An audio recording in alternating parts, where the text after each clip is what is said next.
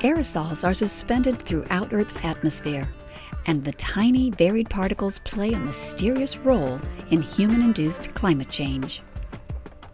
Just like people, every particle is unique.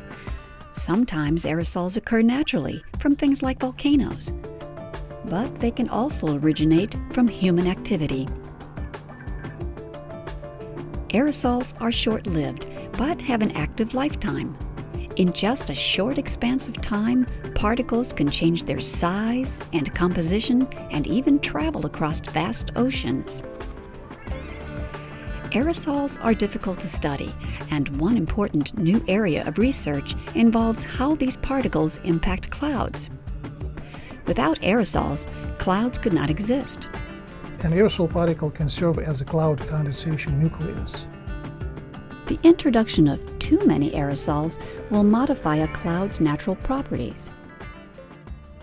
The more aerosol particles we have in the atmosphere, the more cloud droplets we can have.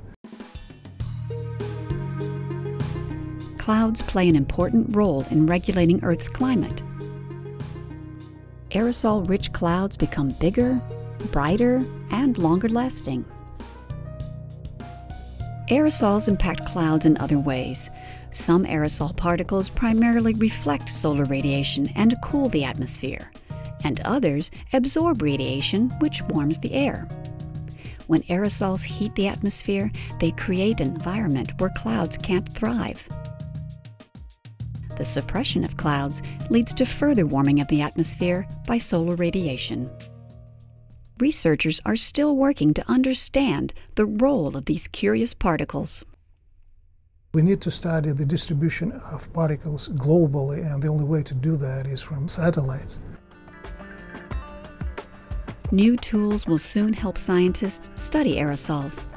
The Aerosol Polarimetry Sensor, or APS, is among a suite of instruments on board NASA's upcoming GLORY mission. The APS will provide a global dataset of aerosol distribution with unprecedented accuracy and specificity.